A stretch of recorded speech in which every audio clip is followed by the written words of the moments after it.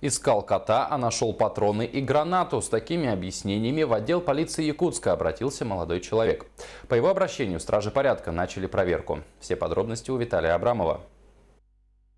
Накануне около полудня в первом ГОМе Якутска появился молодой человек. С собой он принес пару десятков патронов разного калибра и гранату F1. Как оказалось, он пришел, чтобы добровольно их сдать. С его слов, нашел все это во время поиска своего кота.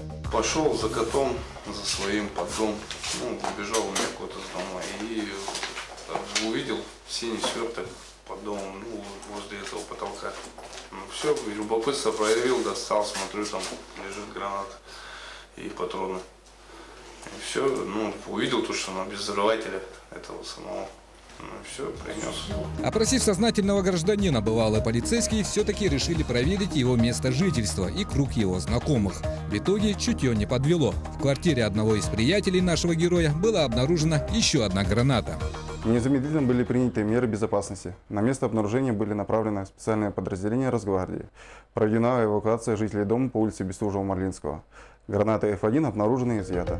В настоящий момент по данному факту проводится проверка. Для справки, согласно Уголовному кодексу, незаконное хранение оружия и боеприпасов, за исключением гражданского, предусматривает до 4 лет лишения свободы. Виталий Абрамов, НВК Саха, Якутск.